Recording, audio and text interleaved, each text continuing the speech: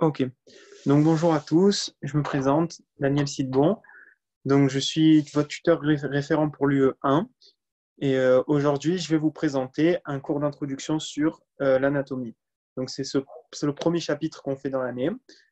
Euh, donc il va être présenté par le professeur Champsor, qui est un professeur très gentil, qui aime bien un peu partir dans ses délires, mais qui est, très gentil au concours, qui pose pas des questions très vicieuses.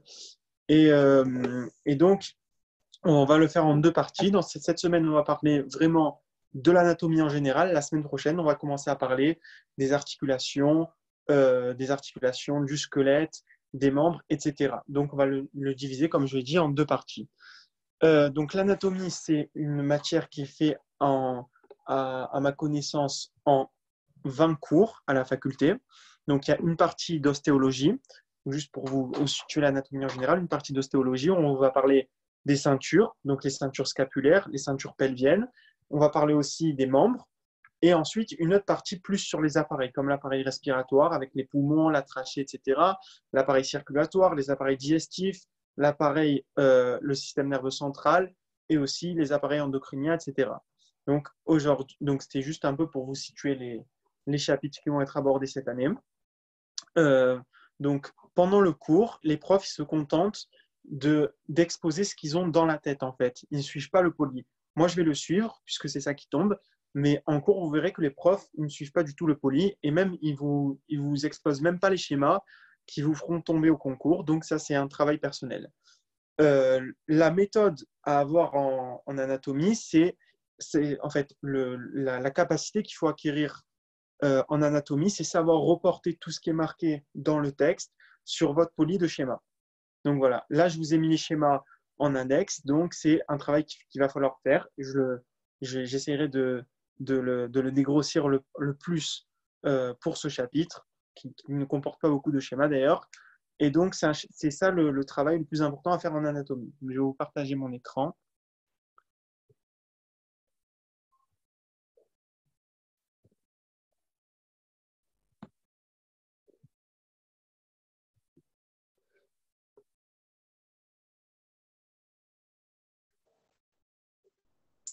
Donc voilà, j'espère que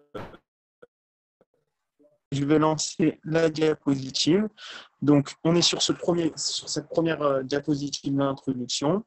Et on va commencer par détailler comme l'étude des structures normales du corps. Le mot normal, il est très important. C'est ce mot physiologique qui va nous intéresser ici, puisque dans ce poly, vous verrez qu'on va aborder très peu de pathologies, peut-être on va parler des fractures dans l'ostéologie, des, péricardites pour l'appareil respiratoire, mais sinon, ça se limite vraiment à très peu de pathologies. Ici, on se concentre que sur l'individu normal. Donc, j'écris qu'on va essayer d'appréhender chaque organe sous l'angle du physiologique en essayant de préciser le plus de ses propriétés, comme sa fonction, ses rapports, ses caractéristiques. Donc, deux remarques essentielles, c'est que l'anatomie, elle est basée sur la dissection. Donc, depuis longtemps, on faisait de l'anatomie comparée sur des animaux, puisque les dissections sur les humains étaient, interdites. Et à partir du 19e, du 20e siècle, on a commencé à disséquer les corps humains et comprendre l'anatomie euh, humaine normale. Autre chose, comme je vous l'ai dit, on parle ici seulement d'anatomie humaine normale. Ça se résume à un individu qui est standardisé. Le prof dit qu'on Ici, il n'y a, pas de, variation. On est sur un sujet qui est classique et les valeurs qui vous seront données ou les, définitions, les orientations, les formes seront les mêmes de partout, seront basées uniquement sur l'individu qui est normal. Donc, je vous ai laissé les commentaires, je vous ai laissé les commentaires du prof pour ceux que ça intéresse. Donc, il dit l'anatomie normale se situe autour d'un être humain standardisé, alors que l'anatomie pathologique est sujette à variation. Donc, je vous prends un exemple. Euh, on va prendre l'exemple euh, de la horte. La horte, elle, a un calibre de 30 mm. Et donc, ça, c'est valable pour tous les sujets physiologiques. Et au-delà ou en dessous, on est soit en anévrisme, soit on est en hypotension. Donc, euh, l'anatomie pathologique, est sujette à variation. Deuxième chose, il faut savoir que l'anatomie, elle a énormément d'applications. Comme je l'ai dit sur la première diapositive, le, son but, c'est de préciser les formes, les fonctions, les orientations, les dispositions Donc, on peut comprendre qu'il y a énormément d'applications à l'anatomie. On distingue 13 formes d'anatomie. Donc, il faut les apprendre. Je vais les citer. Et ils, sont, ils figurent sur la première page du pôle. Donc, la première chose, c'est l'anatomie macroscopique. C'est comment on observe un corps. C'est la description des éléments anatomiques visibles, visibles à l'œil nu. Donc, par exemple, je prends l'exemple de on a deux mains et deux pieds. Ça, c'est les choses qui sont évidentes. C'est la première impression qu'on a du corps. Donc, rien à rajouter. Je pense que vous avez compris. Deuxième chose, l'anatomie microscopique. Donc, c'est le prof dit que c'est la description, c'est qu'elle se situe à la limite de l'histologie. Donc, l'histologie, c'est l'étude des tissus qu'il ne faut pas confondre avec l'anatomie microscopique. Alors, qu'est-ce que c'est l'anatomie microscopique? C'est la description des structures microscopiques du corps. C'est une définition qui est facile à retenir. Et là, je vous mets en, diapositive une, une coupe des, tubes séminifères, donc du testicule. Et donc, c'est grâce à cette anatomie microscopique qu'on réussit à appréhender les structures qui sont infinitésimales, comme les tubes, les tubes séminifères, ou même je vous prends des réseaux capillaires. C'est ça, c'est le fait de l'anatomie microscopique. Donc, on a maintenant l'anatomie descriptive. Donc, qu'est-ce que c'est l'anatomie descriptive? C'est une anatomie qui va chercher à étudier pour chaque organe son orientation, sa forme, son poids, sa couleur, sa constitution et son orientation. Donc, et sa configuration interne, c'est-à-dire les différentes couches qui le constituent. Ça, c'est le commentaire du prof. Donc, c'est donner toutes les caractéristiques des organes. On va prendre le cas de l'œil.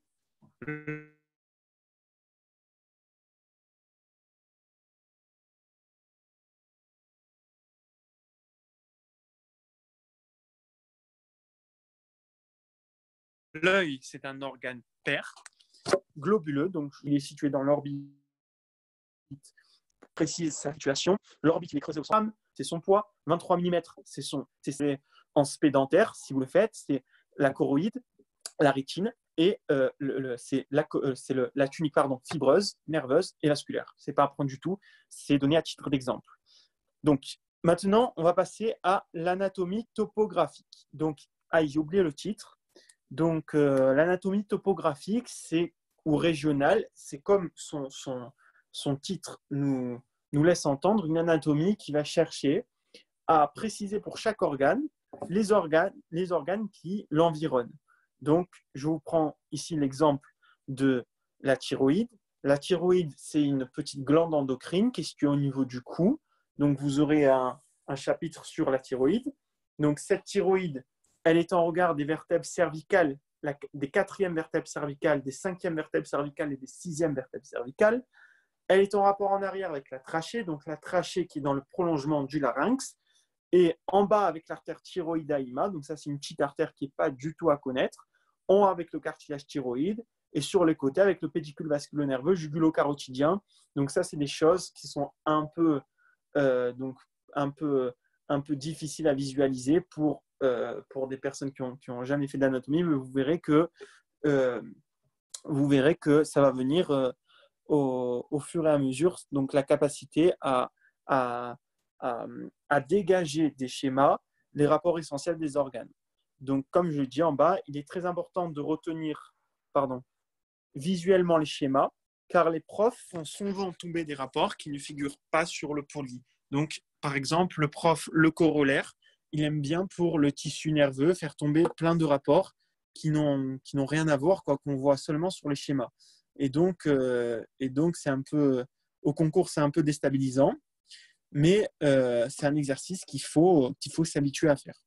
Voilà, donc je vais vous y habituer. Donc ici, on a un schéma. Donc un schéma, le schéma du médiastin postérieur. Le médiastin, c'est une région qui se trouve au niveau de votre thorax et qui contient plein de conduits.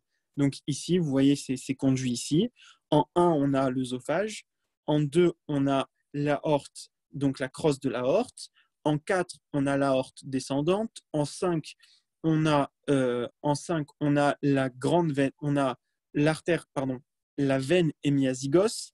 En 6, on a l'aorte abdominale. En 9, on a la veine communicante. En 8, on a la veine grande azygos.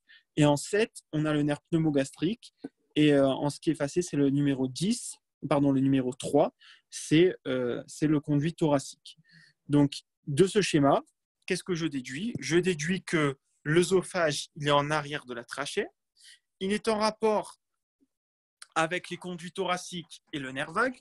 Il est enchaîné, il est enchevêtré dans un réseau d'artères et de veines. Et donc, c'est, donc c'est de ce schéma, on peut tirer plein de, plein de, plein de, d'informations importantes sur l'entourage, enfin les organes qui entourent notre, euh, notre œsophage. Donc voilà, ici je vous note la réponse. La trachée est en rapport en arrière avec l'œsophage thoracique, le conduit thoracique, le nerf pneumogastrique. Donc le nerf pneumogastrique, je vous rappelle que c'est le nerf en noir, c'est le 7. Donc il est là, le nerf pneumogastrique. Voilà, en 7. Euh, en avant et en avant avec le 3 artériel brachiocéphalique. Donc, le 3 artériel brachiocéphalique, c'est euh, le voir s'il arrive à vous le pointer. Pardon.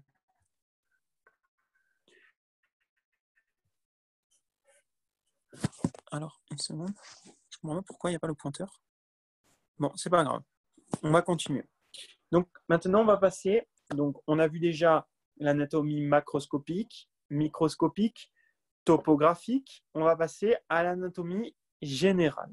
Donc, qu'est-ce que c'est l'anatomie générale? C'est une anatomie qui étudie les lois de l'organisation anatomique. Qu'est-ce que ça veut dire? Ça veut dire que on va essayer d'attribuer à chaque organe une place dans les classifications que l'on fait pour l'anatomie. Donc, je vous prends l'exemple du fémur. Le fémur, c'est un os, donc il va appartenir au système osseux. La moelle épinière, donc c'est un tissu nerveux, il va appartenir au système nerveux. Donc, l'anatomie générale, c'est associé à des organes, leur classification. Ensuite, on a l'anatomie radiologique. Donc, l'anatomie radiologique, c'est très simple. C'est on prend des clichés radiologiques et on les analyse et on essaye de trouver, d'appréhender les organes qui, sont, qui y figurent. Donc, je vous donne la définition du poly. Elle décrit les différentes images obtenues chez l'individu normal sur des clichés radiologiques ou à partir d'autres techniques d'exploration comme les endoscopies, les IRM, les scanners, les échographies. Donc, par exemple, sur ce, je vous mets un, ici ce qu'on appelle une hystérosalpingographie. Donc, c'est, vous voyez qu'on a envoyé un, un produit dans le, dans, dans le vagin, ce produit s'est propagé dans l'utérus, puis dans les trompes, puis il a abouti à la cavité, dans la, dans la grande cavité péritonéale.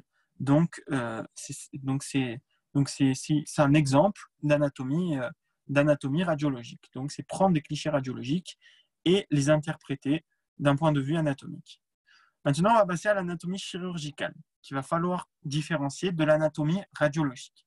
L'anatomie chirurgicale, c'est en gros une anatomie qui va permettre aux chirurgiens de trouver les voies d'accès aux organes et d'éviter les obstacles euh, et d'éviter certains obstacles euh, euh, qui certains obstacles qui, se, trouvent sur, le, sur la voie d'abord pour, pour, pour atteindre les organes désirés. Donc, pour certains organes, on va avoir une, voie d'abord naturelle, comme pour la langue ou le vagin. Je prends un cancer de la langue, le chirurgien n'aura pas besoin de faire d'incision. Par contre, pour, je vous prends pour, alors pardon, une seconde, pour, pour d'autres pour d'autres organes, le chirurgien devrait inciser. Je vous prends l'exemple de la parotide. Pour une dissection de la parotide, donc la parotide, c'est une glande qui se trouve au niveau de la face, et eh bien le chirurgien, il va, falloir, il va complètement, il va complètement vous défigurer. Là, je vous mets qu'à Marseille, des chercheurs, ils ont réussi à aborder l'hypophyse. Donc l'hypophyse, c'est une glande qui se trouve euh, sous le cerveau. Donc, vous imaginez la difficulté qu'il y a à l'aborder. Et ils ont, ils ont réussi à, l'aborder par le nez. Donc, il y a une vidéo, si vous voulez la voir, si vous voulez un peu vous passionner, sur Internet, vous regardez, euh, vous regardez euh, la, la, chaîne YouTube de, la, la PHAM, là, je ne sais pas comment, comment, on appelle ça, voilà, et, et vous trouverez cette vidéo. On va passer à l'anatomie fonctionnelle. Donc, qu'est-ce que c'est l'anatomie fonctionnelle? C'est comprendre comment les organes se modifient lorsqu'ils exercent leurs fonctions.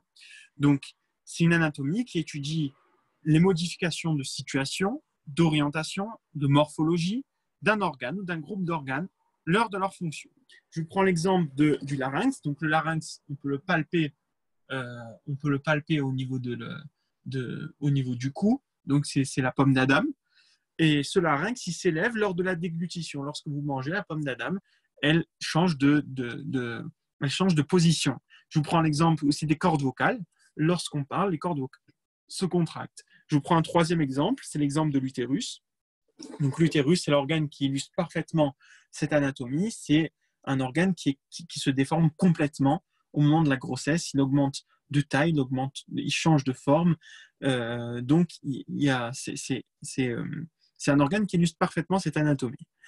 Maintenant, dans l'anatomie fonctionnelle, on a aussi la biomécanique. Qu'est-ce que c'est la biomécanique? C'est une anatomie qui tente d'appliquer pardon, au corps humain les lois de la mécanique des matériaux. Donc c'est une science qui va essayer d'appliquer les règles physiques aux liquides, aux solides qui se trouvent dans le corps humain. Par exemple, je vous prends l'exemple de la rhéologie. La rhéologie, c'est le, pardon, je vous prends l'exemple de l'hémodynamie. L'hémodynamie, c'est une science qui va s'intéresser à, d'un point de vue de mécanique des fluides, à, au sang. Maintenant, on va passer à l'anatomie morphologique. Qu'est-ce que c'est l'anatomie morphologique? C'est l'étude des formes et des reliefs, des formes extérieures et des reliefs du cœur. Donc, c'est comment le corps est à la palpation. Donc, je vous prends l'exemple de la glande mammaire chez l'homme. La glande mammaire chez l'homme, elle existe, pas comme la femme, mais elle existe. Elle est responsable seulement d'une petite surélévation chez l'homme au niveau du thorax. On parle plus de glande mammaire, mais on parle de galette glandulaire.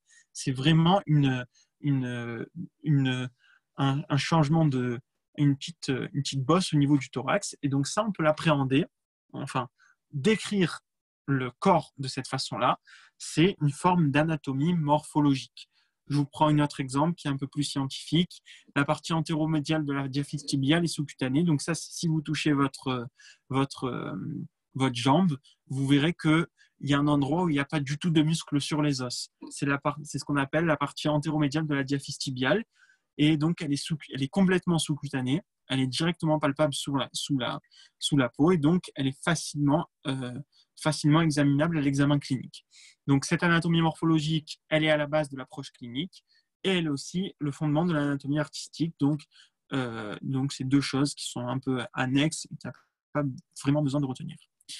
Maintenant, je passe à, à la définition de l'organogénèse. Donc l'organogénèse, c'est une définition qui prête souvent à confusion, puisqu'on a tendance à la confondre avec l'embryologie et la phétologie. C'est ce que je vous mets l'embryologie et la phétologie, c'est complètement différent de l'organogénèse. L'organogénèse, c'est la formation, le développement des organes, alors que l'embryologie, c'est l'étude de l'embryon. La phétologie, c'est l'étude du fœtus. Donc, c'est des définitions qui paraissent très similaires, mais qui, dans les QCM, eh ben, ne sont pas similaires du tout. Donc, je vous prends un exemple très simple, l'exemple de la face, notre face, avec euh, le nez, la cavité buccale, la cavité nasale, eh ben, elle est mise en place au cours du deuxième mois à partir de cinq bourgeons embryonnaires. Donc, ça, vous le verrez plus tard en SP12 si je veux. La tératologie. On va passer à une autre forme d'anatomie qui se rapproche ici plus de l'anatomie pathologique. La tératologie, c'est l'étude des malformations, des anomalies et des monstruosités congénitales. Donc, c'est très proche, mais il ne faut pas la confondre avec l'anatomie pathologique. Ici, on, aborde seulement les malformations congénitales, c'est-à-dire qui sont héréditaires et qui ont une origine dans, euh, dans le patrimoine génétique. Donc, tout ce qui est congénital. Je prends l'exemple du bec de lièvre. Donc, le bec de lièvre, c'est une anomalie de fusion des bourgeons palatins c'est-à-dire, je ne sais pas si vous avez déjà vu, c'est des personnes qui ont une bouche complètement déformée. Et je ne vais pas vous mettre de photos sur ça parce que ce n'est pas vraiment très joli à voir. On va passer à l'anatomie comparée, donc dernière, avant-dernière forme d'anatomie. Donc c'est l'étude de l'anatomie des animaux. Donc on prend les animaux et on compare leur anatomie à celle de l'homme. Et c'est l'ensemble des trans et aussi c'est l'étude de l'ensemble des transformations que, que l'anatomie humaine a subi au cours des âges, c'est-à-dire au cours de l'histoire, donc du point de vue évolutif. Ne pas confondre avec l'ontogénèse. On va voir qu'est-ce que c'est plus tard. Par exemple, on sait que les hommes sont en moyenne plus grands de 10 cm qu'il y a 100 ans. Tous les mammifères possèdent un numérus radius ulna, donc c'est un bras et un avant-bras. Donc, ces deux exemples euh, d'anatomie comparée. Maintenant, on a l'ontogénèse, qui est différent de l'anatomie comparée, et la phylogénèse. Qu'est-ce que c'est l'ontogénèse C'est l'étude des transformations jusqu'à l'âge adulte. Autrement dit, par exemple, les poussées de croissance. Je vais, vous prendre les boutons d'acné pour, euh, euh, à l'adolescence. Donc, c'est tous les, tous les changements que le corps subit en vieillissant. La phylogénèse, qu'est-ce que c'est? La phylogénèse, c'est comment l'espèce s'est transformée. C'est-à-dire, euh, comment, ben, d'après le modèle darwinien, on est parti d'un être qui n'était pas du tout évolué, donc Homo sapiens, enfin Homo erectus, tout ça, jusqu'à arriver à nous aujourd'hui, Homo sapiens. Euh, et il y a une loi très connue, c'est la loi de récapitulation, qui dit que l'ontogénèse récapitule la phylogénèse. Qu'est-ce que ça veut dire? Ça veut dire que si vous prenez, si vous analysez un homme quand il se développe, vous allez réussir à retrouver toute son histoire évolutive. Je vous prends un embryon au deuxième mois de la vie, au deuxième mois de sa conception. À quoi il ressemble? Il ressemble à un tétard. Ben, ça, ça veut dire qu'il y avait une parenté commune à la base. Et c'est ce qui soutient Darwin. Maintenant, on va passer à la dernière forme d'anatomie. L'anatomie anthropologique, c'est les variations existant entre les individus et les races. Ici, on ne parle plus d'histoire, on parle, on va essayer de comparer les hommes entre les hommes. Je vous prends la règle d'Allen pour, euh, pour illustrer ça. La règle d'Allen, elle dit que les gens qui se trouvent, par exemple, en Afrique, eh bien, ils sont beaucoup plus longs et beaucoup plus minces. Pourquoi? Parce qu'ils dissipent mieux la chaleur. Alors que les gens qui sont plus trapus, qui sont plus petits, si vous remarquez bien, ils sont plutôt dans les populations, c'est plutôt ils appartiennent plutôt aux populations du Nord. Donc, c'est une anatomie qui va chercher à trouver les différences qu'il y a entre euh, les différentes ethnies. On va faire une petite pause QCM sur ces anatomies. Donc, parmi les propositions suivantes, concernant les différentes formes d'anatomie, laquelle ou lesquelles sont exactes? Donc, première proposition, l'anatomie est essentiellement basée sur l'observation.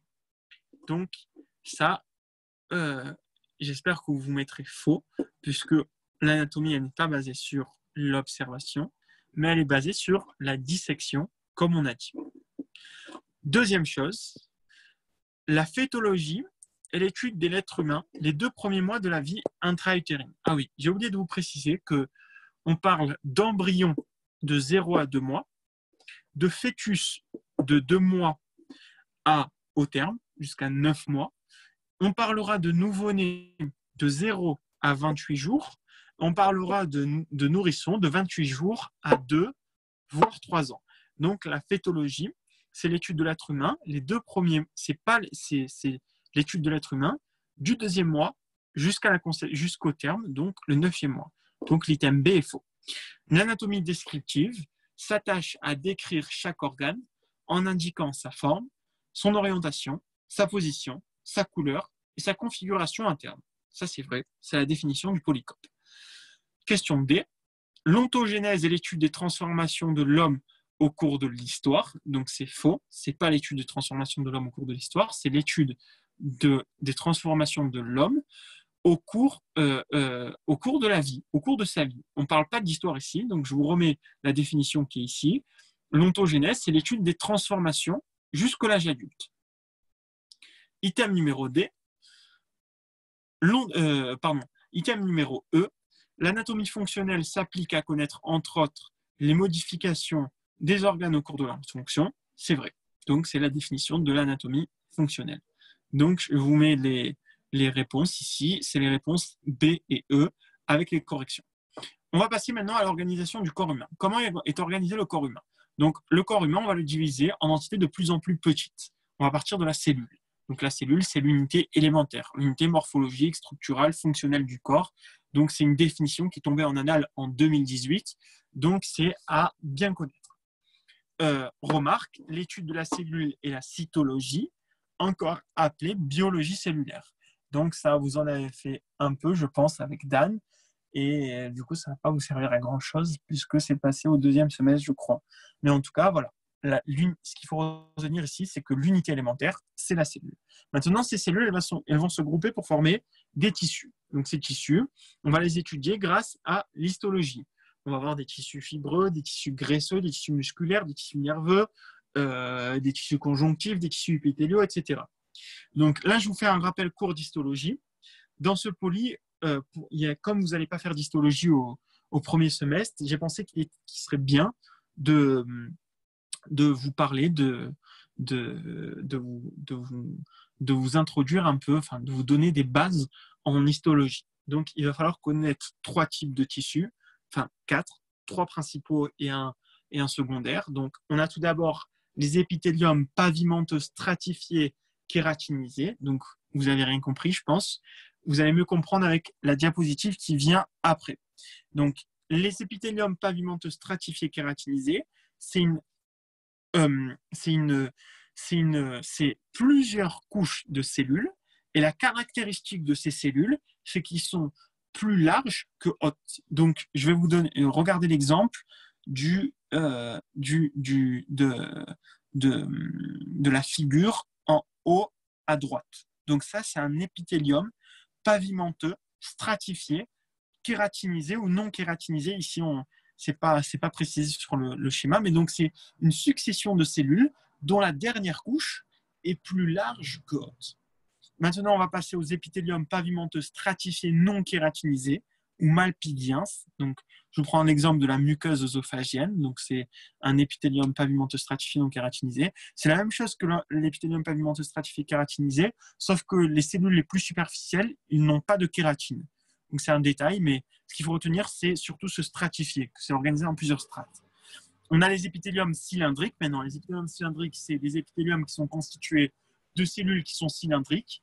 Donc, regardez euh, le, schéma qui est en bas à gauche, donc le plus en bas à gauche des trois. Donc ça, c'est un épithélium cylindrique. Et on le retrouve le plus souvent. Ça veut dire que si on vous pose un QCM d'une structure avec son épithélium, et vous ne savez pas c'est quoi, eh bien, pensez directement que c'est prismatique. À l'exception, bien sûr, de la peau, où c'est pas prismatique du tout. C'est euh, pavimenteux, stratifié, kératinisé, etc. Mais généralement, en général, pour les structures internes, c'est toujours toujours cylindrique. Je vous prends l'exemple de l'estomac, c'est cylindrique. Le tube digestif, c'est cylindrique. Le rectum, c'est cylindrique. Euh, le rectum, c'est cylindrique. L'épithélium ovarien, pardon, euh, l'épithélium euh, utérin, c'est cylindrique. L'épithélium des trompes, c'est cylindrique. donc, il y a la, majorité des épithéliums sont cylindriques. Ensuite, on a des épithéliums cubiques. Donc, ça, c'est beaucoup plus rare. C'est où les, les, cellules sont aussi larges que larges. Donc, c'est le deuxième à, gauche. Donc ça, c'est l'épithélium ovarien, l'épithélium trachéal. Maintenant, on va passer aux organes. Les organes, c'est un ensemble de tissus spécialisés, structurés, afin de remplir une fonction déterminée. Donc, c'est des tissus qui se couplent pour, euh, pour remplir une fonction. Je vous prends l'exemple du... On va prendre l'exemple, euh, on va dire, de, de la trachée. La trachée, c'est un ensemble de tissus. On a d'abord un épithélium cubique, ensuite on a une lame basale, ensuite on a une matrice, Ensuite, euh, on doit avoir des vaisseaux sanguins. Donc, c'est un ensemble de tissus qui vont se coupler ensemble pour remplir une fonction. Attention, le prof fait est, très, précis sur ses définitions et il, fait très attention à bien différencier les organes des appareils. Je vous mets le commentaire, donc si vous voulez le lire. Donc les systèmes. Les systèmes, c'est un ensemble d'organes ayant une structure analogue. Ici, on ne parle plus de fonction, on parle d'identité, de structure. Par exemple, le fémur, c'est un organe qui appartient au système osseux. Donc le système osseux, ça va être un, ensemble qui va contenir tous les organes qui, qui contiennent de l'os. L'artère poplitée appartient au système artériel. Le système artériel, contient toutes les structures anatomiques qui sont formées de tissus artériels. Tous, les organes euh, qui, ont une structure comme les artères, ils appartiennent au, système artériel. Donc ici, c'est surtout euh, le, but, c'est de retenir que c'est la même structure. Les appareils, donc les appareils, c'est un ensemble de systèmes regroupés en vue d'une même fonction. Donc je je vous prends alors, je vous prends ici l'exemple de l'appareil urinaire. Donc l'appareil urinaire, ça contient le rein, la vessie, les urtères, l'urètre. Euh, on peut continuer même jusqu'au jusqu'à jusqu'au pénis, etc. Donc euh, jusqu'au etc. Donc c'est un, ensemble de systèmes, comme on a dit, mais euh, qui sont regroupés en vue d'une même fonction ici. Il faut bien faire la différence entre ces définitions. Alors, on va passer maintenant à la vie végétative. Donc ça, c'est une partie qui tombe généralement très peu souvent. Euh, donc c'est une, partie qui tombe quasiment jamais, mais il faut la connaître et le prof, il parle, il passe assez de temps sur euh, ces définitions-là. Donc la vie végétative, qu'est-ce que c'est? C'est la vie du corps quand vous faites rien. On va dire quand vous dormez. Votre corps continue à fonctionner quand même. Donc, c'est la vie végétative, c'est euh, la vie du corps à proprement dit, comme respirer, les battements du cœur, etc. Le prof parle d'existence basale, c'est-à-dire la vie du corps à l'état d'inertie, donc quand vous dormez. Je vous prends l'exemple des phénomènes de combustion et d'oxydation. Dans nos cellules en permanence, dans nos mitochondries, je ne sais pas si vous l'avez vu avec Dan, mais il y a des phénomènes de combustion avec le cycle de Krebs, avec euh, la, la, production d'ATP, etc. Donc, c'est des phénomènes qui se passent en permanence sans même qu'on les contrôle. Donc, ces, phénomènes sont générateurs d'énergie. Ils nécessitent l'apport de matière. Donc, pour, euh, effectuer la combustion, il y a besoin de matière, des nutriments et d'oxygène. Et on a aussi besoin d'évacuer ces déchets. Donc, ces, rôles, euh, ils sont assurés par différents appareils. L'apport des aliments, ça se fait par l'appareil digestif, donc c'est logique, l'oxygène par l'appareil respiratoire, le transport par l'appareil circulatoire et l'élimination par l'appareil urinaire. Donc ça, c'est facile, c'est à apprendre et c'est logique. La commande et la régulation de ceci et la régulation, ça se fait par le système nerveux autonome et l'appareil endocrinien. Donc, c'est ces systèmes qui vont euh, donner une envie de manger, donner une envie d'aller aux toilettes, donner une envie de voilà de d'éliminer les déchets, etc. Donc tout ça c'est sous la commande du système nerveux central et aussi du système nerveux endocrinien. Je vous prends l'exemple de l'hypophyse. Les gens qui ont plus d'hypophyse, mais ben, ils n'ont plus le contrôle de la faim. Ils sont en permanence en train de, rechercher à manger puisqu'ils n'ont plus la relation de satiété qui est générée par, euh, par l'hypophyse. À côté de cela, on a la vie en relation. Qu'est-ce que c'est la vie en relation? C'est la vie du corps lorsqu'il agit avec son environnement. Donc, ce n'est plus la vie végétative. On parle d'un corps, euh, on parle d'un corps qui est à l'état d'inertie, mais on parle de vie euh, qui est sous la dépendance, qui est sous le contrôle de la volonté. Donc, il y a un sens qui est mis en œuvre. Donc, toutes nos actions, elles sont, euh, elles partent d'un stimulus qui est reçu de l'extérieur et cette action, elle s'effectue suite à ce stimulus. Le prof, il écrit au tableau une séquence qui permet de bien comprendre qu'est-ce que c'est la vie de relation. La vie de relation, c'est, elle suit le schéma suivant. On reçoit une information, donc notre cerveau le, traite cette information, il va intégrer cette information et il va, euh, euh, il va, il va générer un acte moteur. Donc, on a aussi ici des appareils spécifiques qui vont intervenir à chacune de ces étapes. L'appareil sensoriel, par exemple, et le système nerveux cérébrospinal, qui sont étroitement liés. Ils sont chargés de recevoir les informations extérieures, donc nos sens, ils vont capter ces informations et ils vont y apporter des réponses. Donc chez l'homme, l'appareil de la, de permet une communication précise et rapide. Donc ça, c'est logique.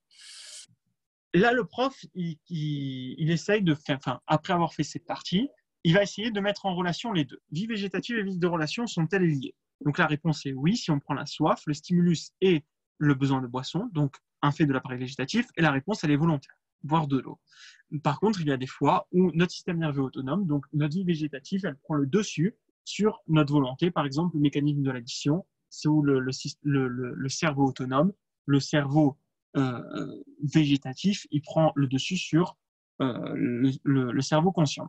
Donc la reproduction, le prof, il n'en parle même pas dans le cours, donc si vous voulez le lire, je vais passer rapidement par manque de temps, mais il faut l'apprendre quand même. Donc, je vous remets le poly. On va passer à l'appareil tégumentaire. Alors, c'est une définition qui est très importante. Il va falloir l'apprendre par cœur.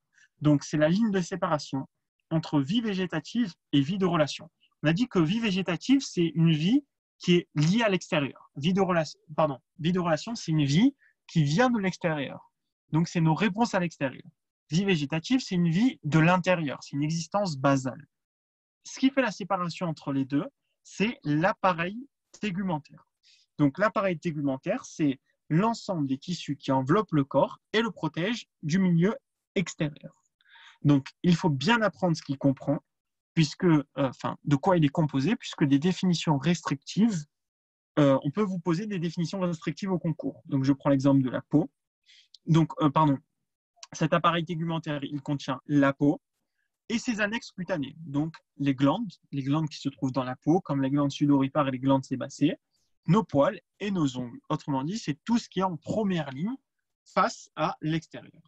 Ensuite, on a les organes sensoriels. Qu'est-ce que c'est les organes sensoriels? C'est les organes qui sont indispensables aux relations de l'homme avec, aux, relations de l'homme avec son environnement, comme par exemple reconnaître ses aliments, s'orienter, correspondre avec ses semblables, etc. Donc, c'est des appareils qui vont recevoir les informations extérieures et qui vont nous permettre de vivre en relation avec notre environnement. C'est quoi ces appareils? C'est il y a donc principalement cinq appareils, donc comme les cinq sens, et il va falloir les connaître parfaitement, puisque on peut vous poser des questions qui sont, comme, comme j'ai dit, restrictives sur ça. Donc, on va, on va parler tout d'abord de l'olfaction. L'olfaction comprend la cavité nasale, le nez, les voies olfactives et les zones olfactives. Donc, il faut connaître ces quatre choses. Moi, je, vous les ai détaillées parce que ça peut être intéressant, mais euh, il va falloir bien les connaître. Donc, il y a euh, donc de l'olfaction, il comprend la cavité nasale. Et là, je vous note entre parenthèses un piège qui tombe très souvent c'est, on dit, c'est juste de la grammaire, hein, mais on dit une cavité nasale et deux fosses nasales. Ensuite, on a le nez, qui est différent de la cavité nasale. Le nez, c'est ce qui dépasse. La cavité nasale, c'est ce qu'il y a derrière. Je ne sais pas s'il y, en a parmi vous qui ont fait le test du coronavirus, mais lorsqu'on vous rentre le coton-tige, on va vous le rentrer dans la cavité nasale et pas dans le nez. Donc, la cavité nasale, euh, donc le nez, c'est différent de la cavité nasale. Le nez, il est formé de cartilage, alors que la cavité nasale, est formée d'os. Donc je vous note les cartilages. Il y a le cartilage septal, le grand cartilage alaire ou les cartilages latéraux, et les cartilages voméro-nasaux. Ensuite, on a les voies olfactives, donc avec les nerfs olfactifs, les nerfs maxillaires ophtalmiques et le nerf trijumeau. Donc ça, c'est pas du tout à apprendre, c'est pour ceux qui s'intéressent. Ensuite, on a les zones olfactives, donc zone de la réception des impressions olfactives. Donc là, je vous mets un schéma sur les, l'organe de l'olfaction. Donc, on a d'abord le nez. Ensuite, ces informations ils sont transmises aux bulbes olfactives. Donc, ces bulbes olfactives, ils sont connectés au cerveau au niveau de l'hypothalamus. Et l'hypothalamus, va se charger de, de, de, traiter cette information et, euh, et, et, de générer une impression olfactive. Ensuite, on a l'organe du tact. Donc, l'organe du tact, c'est très facile, c'est la peau. Donc, euh, donc, la peau et ses annexes. Donc, je vous mets une règle générale, puisque c'est comme j'ai dit, les items restrictifs, c'est vraiment des choses qui sont pas sympas à faire. Donc, quand dans le poly, il y a deux points, donc je vous dis, l'organe du tact, deux points, comprend deux points, la peau et ses annexes, c'est que si on vous met en QCM, l'organe du tact, deux points, comprend la peau, c'est faux. Les deux points, ça rend un item restrictif. Il faut citer la liste complète. L'organe du goût, maintenant on va passer à l'organe du goût. Donc l'organe du goût est situé au niveau de la langue. Là, je vous ai mis un petit, un petit point culture générale, donc il n'y a rien du tout à apprendre. C'est le salé, ça se fait sur le côté, le sucré, ça se, ça se fait au milieu, la mer, ça se fait en arrière. Et la sensibilité de la langue, c'est transmis par le nerf lingual, donc il n'y a pas trop besoin de connaître ça ce qu'il faut retenir, c'est que c'est situé au niveau de la langue. L'audition, donc c'est former les trois oreilles, oreille externe, moyenne, interne. Donc c'est seulement ça qu'il faut retenir. Ensuite, je vous ai mis des choses qui sont bien pour votre culture générale, comme l'oreille externe, qui formée de la conque et euh, de l'auricule. Donc la conque et l'auricule, c'est la conque, c'est le creux qui se trouve dans l'oreille, et l'auricule, c'est euh, tout, le, cartilage. L'oreille moyenne, c'est ce qui contient la chaîne ossiculaire, avec le malleus lincus et le stapes, et l'oreille interne, c'est le vestibule et la cochlée, donc le point de, départ du nerf vestibulo-cochléaire. L'organe de la vision, donc ça comprend les yeux, les organes annexes et les voies optiques. Donc dans les organes annexes, on aura les paupières, les glandes lacrymales. Donc il faut savoir qu'ils se trouvent dans l'angle supéromédial de supérolatéral de l'œil, le corps adipeux de l'orbite qui, qui occupe le tiers postérieur donc de la cavité orbitaire et les muscles mobilisateurs de l'œil. Pardon, j'ai marqué de l'orbite. Et donc, c'est des muscles qui sont fixés sur la, partie extérieure de l'œil. Vous allez les revoir en SP12. C'est les muscles droits et les muscles obliques. Et on a aussi les voies optiques avec le nerf optique, le nerf 2. C'est important de connaître les numéros des nerfs. Vous les verrez dans les derniers chapitres d'anatomie. On va faire une petite pause QCM. Donc, l'étude des cellules et l'histologie, c'est faux, c'est la cytologie. Un système est un ensemble d'organes à une structure analogue, c'est vrai. La régulation des apports d'aliments d'oxygène est sous le contrôle du système endocrinien, c'est vrai. Les téguments protègent et séparent le corps du milieu extérieur, c'est vrai. Et l'organe de l'audition est formé uniquement des oreilles internes et externes, il y a aussi l'oreille moyenne. Donc je vous ai mis les réponses. On va passer rapidement parce que j'ai plus trop de temps. Je devais faire une heure et il me reste environ 15 minutes. Donc, on va passer maintenant au langage anatomique. Donc, au langage anatomique. Il faut savoir qu'il y a plein de termes qui sont utilisés pour désigner le même élément anatomique. Je vous prends l'exemple. Euh, je vais vous prendre l'exemple de, euh, on va dire de, du cubitus. Aujourd'hui, le cubitus, on peut l'appeler soit cubitus, soit ulna, soit os médial de l'avant-bras. Donc, il y a trois, termes, et je pense qu'il y en a plus, pour désigner la même chose. Euh, donc, aujourd'hui, donc vers 1955, les anatomistes, ils ont décidé de s'accorder sur la même nomenclature euh, anatomique. Aujourd'hui, celle qui est utilisée, c'est la nomenclature francisée qu'on utilise en France. Comme j'ai dit, aujourd'hui, on ne dit plus omoplate, mais scapula. Donc, le prof, il dit que euh, c'est lorsqu'on le langage qui, sera utilisé dans le polycope, ce sera le langage qu'on utilise aujourd'hui.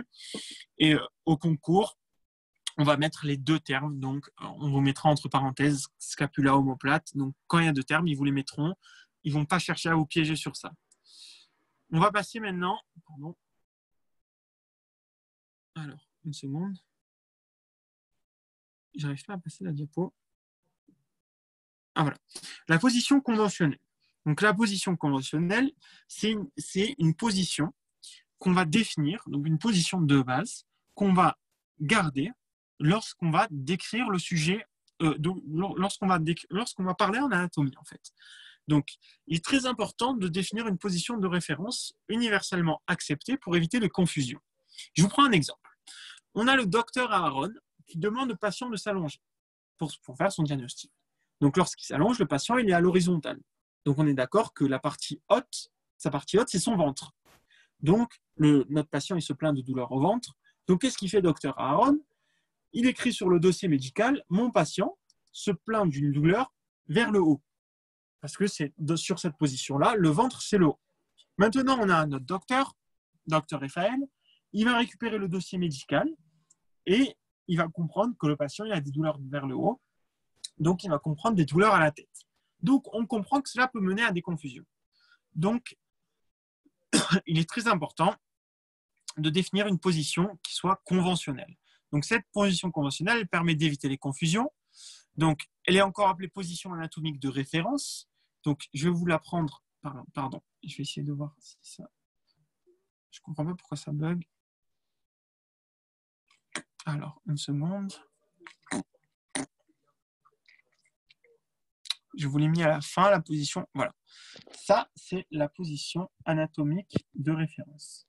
Donc, vous voyez un sujet qui est deux faces. Donc, ce sujet, il est deux faces. Il a le regard qui est orienté vers l'horizon. Il a les pommes de la main tournées vers l'avant. Il a les, membres, donc les, les membres thoraciques, donc ses bras et ses avant-bras qui sont pendant le long du corps il a les pieds joints et parallèles. Donc, à chaque fois qu'on va vous parler d'un organe et qu'on va vous décrire son orientation, c'est le référentiel, c'est cette position-là. Donc, c'est le squelette vu de face. Alors, on va revenir, pardon. Tac. Voilà, maintenant on va passer au plan et aux axes de référence. Donc maintenant on a vu la position anatomique de référence. Donc, je vous l'ai mis ici. Et c'est une définition à connaître sur le bout des doigts. Le plan et les axes de référence, c'est les plans qu'on va définir pour préciser les situations et les orientations des organes. On va, autrement dit, on va se mettre des axes, comme vous faites en maths pour les, pour les sinusoïdes, etc. Là, on va se faire ça pour les organes. Donc, ici, on va prendre le plan sagittal médian. Donc, définition du poly, plan vertical antéro-postérieur divisant le corps en deux parties sensiblement égales. Ok, donc on va couper de l'avant, d'avant en arrière, et on va passer par le milieu. On va parler de plan sagittal paramédian pour les autres plans sagittaux. Donc, il faut bien faire la différence entre médian et médian.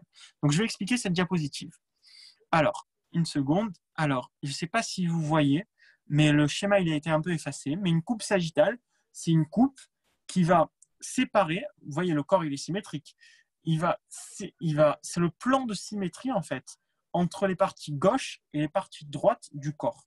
Donc, ce plan de symétrie, il est appelé plan sagittal médian. Maintenant, tout plan qui est parallèle. Donc, on va dire un plan qui va passer par notre oreille. Là, vous voyez, ce plan, il passe par le sommet du crâne. Donc, on va prendre une coupe sagittale, mais qui passe par l'oreille. Donc, ce plan, il ne, ne divise plus le corps en deux parties sensiblement égales, droite et gauche, mais il va séparer le corps une grosse partie droite et une petite partie gauche. Donc, on va plus l'appeler le plan sagittal médian, mais sagittal paramédian, qui est parallèle au plan sagittal médian. Autre chose, c'est faire, bien faire la différence entre médian et médial. Médian, c'est pile au milieu. Médial, c'est médial, c'est sur les côtés. C'est médial, c'est sur les côtés. Comme, comme je vous ai dit, on parle médial, en fait, c'est comme si, vous voulez le plan sagittal paramédian. C'est quelque chose qui n'est pas, pas centré sur le milieu. Donc maintenant, on a le plan frontal. Donc vous voyez, le plan frontal, c'est un plan qui est perpendiculaire au plan sagittal. il va diviser le corps en deux parties, antérieure et postérieure. Donc ici, on, on, donne une définition particulière du plan coronal. Donc le plan coronal, c'est un plan frontal qui est spécifique et qui va passer par le sommet du crâne. Donc on est d'accord qu'on a plusieurs plans frontaux, plusieurs plans qui vont, qui vont diviser le corps en une partie avant et une partie arrière. Et on a ce plan frontal, euh, ce plan frontal qui va passer par le sommet du crâne.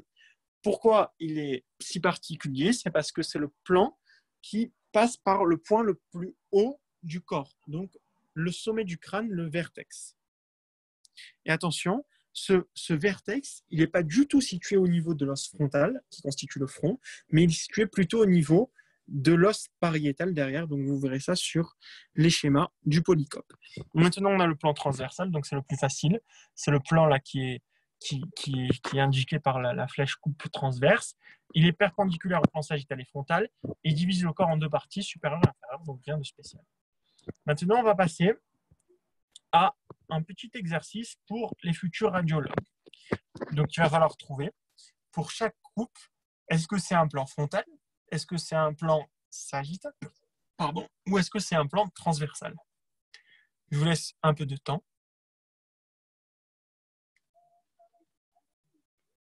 Et je vous donne les réponses. Donc le A, c'est frontal.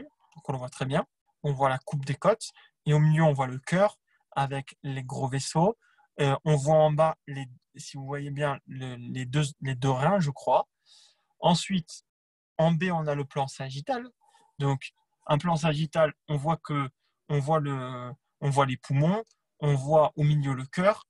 Euh, donc c'est un plan sagittal. Et en C, on voit très bien que c'est une coupe transversale. Donc on voit euh, en arrière la colonne vertébrale avec les muscles qui l'entourent. Donc ça, c'est les muscles que vous mangez quand, quand vous mangez des côtelettes. C'est les muscles les plus tendres. C'est voilà. Et en avant, on voit le rein, à ce qui me semble. On voit le côlon, euh, donc, c'est une coupe transversale. Maintenant, on va passer à l'axe du corps. L'axe du corps, c'est l'intersection des plans sagittal médian et coronal. Donc, vous le voyez ici, c'est l'axe vertical, l'axe Y. Donc, euh, ici, il faut être précis sur le mot.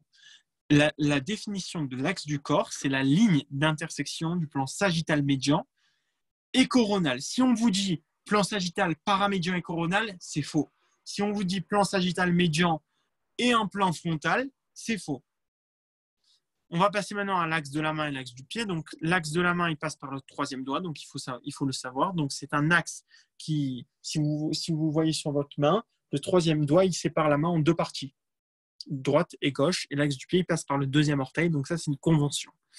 Maintenant, on va parler des termes connexes. Donc, ces termes connexes, c'est des termes qui sont utilisés qui sont utilisés pour préciser la, la, situation des organes. Par exemple, enfin, c'est antérieur en avant, c'est ventral, postérieur en arrière, c'est dorsal, supérieur crânial comme le crâne, inférieur ou caudal, c'est la même chose.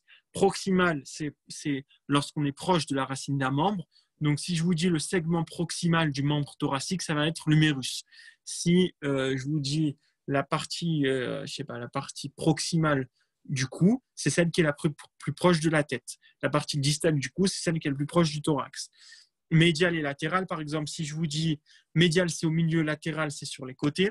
Donc, si je vous dis euh, le poumon est médial par rapport, au, cœur, c'est faux. Le poumon, est latéral, il est sur les côtés par rapport au cœur. Voilà, donc superficiel et profond.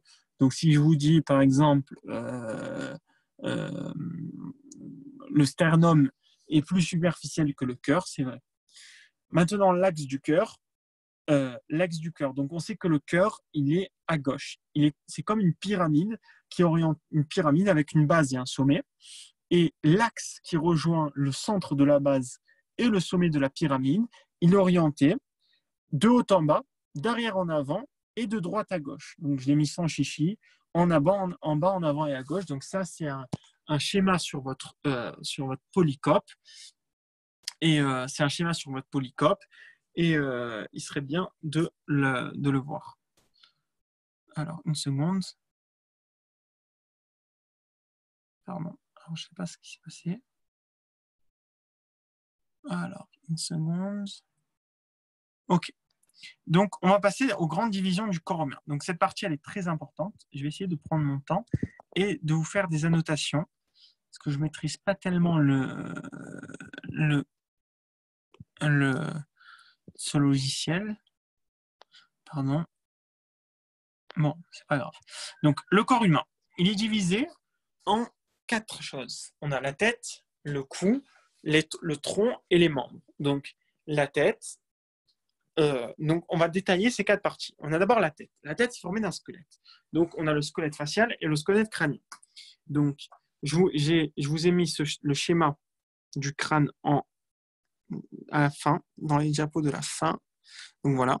Donc, vous avez le schéma du crâne avec en 1, on a l'os frontal, en 2, on a, en 2, on a l'os pariétal, en 3, on a l'os nasal, en 4, on a euh, l'os phénoïde, en 5, on a l'os euh, temporal, en 6, on a le rebord orbitaire, en 7, on a l'os zygomatique, en 8, on a l'os maxillaire, en 9, on a la mandibule. Donc, c'est un squelette qui est, qui est donc, le squelette de la tête, c'est un squelette qui est, qui est dur et il est entouré de parties molles, comme si je vous ai dit de toucher vos tempes. Si vous touchez vos tempes, c'est mieux. Il comprend donc le squelette du crâne qui est formé lui-même de la base et de la voûte du crâne. Donc, il faut bien faire la différence. Moi, quand je suis rentré en passage, je ne comprenais pas trop la différence. Mais il y a une grosse différence entre crâne et face. Si vous voulez ici, tout ce qui est crâne, c'est ce qui est en gris clair. OK? Donc, c'est tout ce qui est en haut. Tout ce qui est face, c'est ce qui contient les grandes cavités du corps, comme les orbites, le nez, la bouche. Mais crâne, c'est la partie qui contient le cerveau. Alors, je ne sais pas si... Non. Donc ça, c'est la voûte du crâne. Donc on le voit en vue supérieure. Donc en haut, c'est un crâne chez l'adulte, en bas, c'est un crâne chez l'enfant. Ok, donc ce crâne, il comprend les formées de la voûte. Donc la voûte, c'est euh, ce que je vous ai montré. Donc c'est le, toit du crâne, en fait. Et la base du crâne, c'est on ne le voit pas. quoi. C'est un schéma. Donc, si j'ai un très beau schéma sur le Nether, si j'avais fait le cours en présentiel, j'aurais pu vous le montrer. J'espère qu'on se verra au stage de pré-rentrée parce qu'il est vraiment très bien. Donc, ensuite, on a le crâne. Et dans le crâne, on a, et après le crâne, on a la face. Donc, la face, elle contient des cavités importantes comme les orbites, les fosses nasales, euh, les fosses nasales et les cavités buccales. On va passer maintenant au cou. Donc le cou, il est centré sur la colonne vertébrale cervicale. Donc, si vous touchez en arrière, vous pouvez toucher votre colonne vertébrale cervicale. On a des régions antérieures et latérales pour le passage des gros vaisseaux du cou. Qu'est-ce que ça veut dire? Ça veut dire qu'en avant, donc en avant et sur les côtés, on a les gros vaisseaux qui vont irriguer le cerveau et, tous les organes de la face vont passer par là. Et en arrière, on a une région qui est musculaire. Donc cette région musculaire, elle protège la colonne vertébrale cervicale. Elle est formée par des muscles qui sont pas du tout faciles à prendre. C'est les muscles intertransversaires dorsaux, les muscles longs du cou. Et vous allez voir qu'en spécialité, il va falloir apprendre toute leur insertion. Et c'est vraiment très dur. Le cou. Maintenant, on passe au tronc. Donc le tronc, je vais vous le faire sur, uniquement sur les schémas. Donc, pardon, une seconde. Voilà. Alors, on va passer au schéma. Donc, voilà. Donc, vous voyez ici, en, 3. En 3, qu'est-ce qu'on a? On a, donc, en 3, on a le thorax. Le thorax, c'est une région qui est limitée en avant par le plastron sternocostal, donc le, les côtes plus le sternum, et en arrière par la colonne vertébrale cervicale. Donc c'est une partie du tronc et qui est limitée par une paroi qui est dite ostéomusculaire. Ensuite, on a le diaphragme qui est en quatre. Donc le diaphragme, c'est ce muscle qui est en forme de, virgule et qui va, le, qui va séparer donc, la cavité thoracique de la cavité abdominale. Ok, donc cette cavité abdominale, elle est en 5. Donc cette cavité, on, la voit en 5 ici. Euh, et elle est contenue dans, une, dans un feuillet, si vous voulez, comme, une, comme un drap en fait. C'est un drap qui, qui, enveloppe la cavité abdominale. C'est ce qu'on appelle le péritoine. Le péritoine, c'est en 6. Vous voyez que ce, péritoine, il est continu. Donc c'est comme une, poche en fait. C'est, on appelle ça la, grande, cavité péritonéale. Maintenant, cette cavité, en dessous de, l'abdomen, on a deux choses. On a le, pelvis et le périnée. Donc en 10, on a le pelvis et en, en dessous du 11, on a le périnée. Donc il n'y a pas de séparation nette entre l'abdomen et le pelvis. La séparation, elle est marquée juste par un axe qu'on a défini comme ça. Cet axe, c'est l'axe qui passe par l'articulation entre la quatrième et la cinquième vertèbre lombaire et la face et la partie supérieure du pubis. Donc c'est l'axe en neuf. Ok? Donc cet axe en, en neuf, il va séparer l'abdomen, donc la cavité abdominale, du pelvis. Maintenant, le pelvis, donc c'est cet espace qui est en 10, il est, il est séparé du périnée par des muscles. Donc c'est ce qu'on appelle le diaphragme urogénital. Donc ce diaphragme urogénital, il est indiqué en 11. Il est constitué principalement de deux muscles qui ne sont pas marqués sur le polycope, mais que le prof exige d'apprendre. C'est les muscles élévateurs de l'anus et les muscles coccygiens. Donc vous les reverrez plus tard en SP11. J'aurais bien aimé la vérité vous faire le cours en, en présentiel parce que euh, j'aimerais, ça aurait été bien de vous faire des schémas. J'espère qu'on pourra le refaire en stage parce que c'est n'est pas très pratique. Voilà. Donc, il faut noter qu'on a un espace en arrière du péritoine. Donc, c'est cet espace en 8. OK. Cet espace en 8, il est en communication avec le pelvis. D'accord? Donc, espace rétropéritonéal en 8, espace sous-péritonéal en 10 sont en communication. Donc, il faut bien euh, il faut bien le, le retenir. Alors, je vais voir si on n'a pas d'autres schémas. Donc, sur ça, pardon.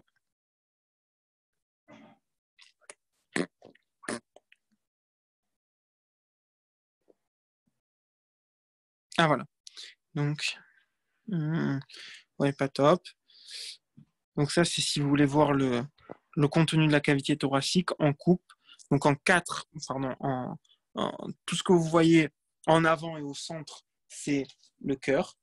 Tout ce que vous voyez sur les côtés, c'est du poumon. Euh, qu'est-ce qu'on qu'est-ce qu'on pourrait dire d'autre sur euh, ah oui aussi, très important. Il faut que je trouve le schéma. Pardon, pardon, désolé. Donc très important, c'est que le, thorax, il va communiquer en haut avec le cou au niveau de l'ouverture supérieure du thorax. OK? Donc, euh, euh, donc au niveau de l'ouverture supérieure du thorax et il va être limité en bas par le diaphragme. Donc voilà, on va terminer sur ça. J'espère que vous aurez compris parce que la vérité, j'ai pas mis beaucoup de schémas et c'est un cours qui est, vers la fin assez difficile à comprendre, surtout les divisions du corps humain. Donc j'espère que, vous aurez, que vous aurez compris ces points-là. Ces points et euh, j'espère que vous aurez compris ces points-là. Et si vous avez des questions, euh, n'hésitez pas à, me à m'en parler par message. Donc, euh, je peux vous laisser mon numéro 0769 05 53 56. Donc, je vous répondrai volontiers, même si vous avez avancé l'anatomie ou même lieu 1, je vous répondrai. Donc, voilà. J'espère que ça vous aura servi. Et on se retrouve normalement la semaine prochaine. J'essaierai de vous mettre plus de schémas parce que cette fois-ci, j'ai été un peu pris à court puisque mes diapositives que j'avais fait sur mon ordi, ils ont été effacés. Donc euh, voilà, j'espère que ça vous aura plu. Euh, si, vous, avez des problèmes pour comprendre, euh, n'hésitez pas vraiment à m'envoyer un message. Je vous répondrai normalement dans les 10-15 minutes qui suivent. Voilà. Bonne soirée, bonne journée